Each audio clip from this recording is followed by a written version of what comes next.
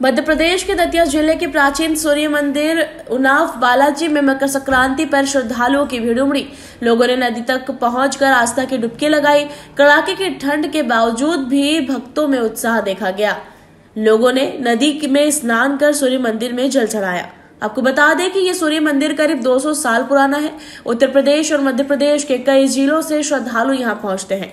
मंदिर में भगवान भास्कर के दर्शन कर जल चढ़ाने की परंपरा है उन्नाव बालाजी मंदिर पर भक्तों की भीड़ को देखते हुए पुलिस, प्रशासन ने व्यवस्था संभाली। कि आज के दिन सूर्य नारायण दक्षिणायन से उत्तरायण होते हैं और सूर्यदेव का विशेष महत्व है स्नान और दान का और यहाँ स्नान करने से समस्त रोगों का नाश होता है।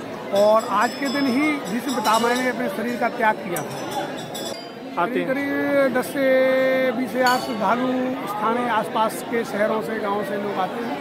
और चूँकि कल इतवार भी था कल भी भीड़ हो गई थी आज भी पर्याप्त भीड़ हो गई। दतिया से अनिल रजक की रिपोर्ट।